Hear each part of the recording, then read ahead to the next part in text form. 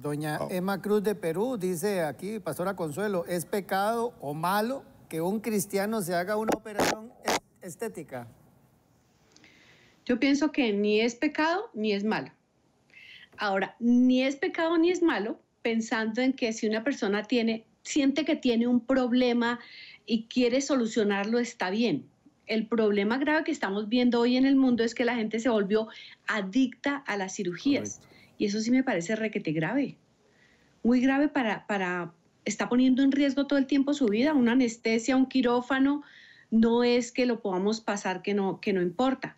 Pero si se va a hacer un, una cosa que, que toda la vida sintió, no es que yo odio mi nariz, me parece espantosa mi nariz, que voy a, y se mira al espejo y dice, no, qué nariz tan espantosa, tan horrorosa, arréglese su nariz, mijita, pero no después de la nariz, entonces ahora los pómulos y entonces ahora todo el resto del cuerpo y lipoescultura y otra lipoescultura, porque nosotros por lo menos en Colombia tenemos una cantidad muy alta de mujeres y ahora ya empezó en la lista los hombres también a morirse durante esas cirugías porque la gente se va a lo barato y resulta que de pronto son personas no capacitadas para hacer esas cirugías y se está muriendo mucha gente. Ahora, ¿qué dice la Biblia?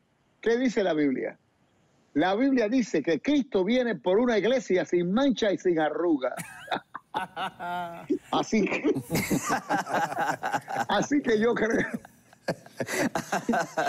yo, creo que no hay ningún problema yo lo que creo, pastor, es que tenemos que ayudar a las mujeres y, regalarle las cremitas, porque es que hay unos tacaños espantosos que la quieren sin arruga y sin mancha, y la pobre está como una uva pasa y ni siquiera les regalan una buena crema. Entonces, hay que ayudar. Yo también creo, hombres, que hay que ayudar.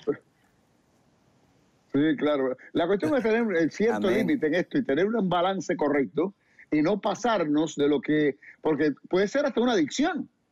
Sí una adicción. Todo lo que agarremos así de, de, que y a veces quitamos a Dios del medio para estar totalmente amarrado a esa adicción.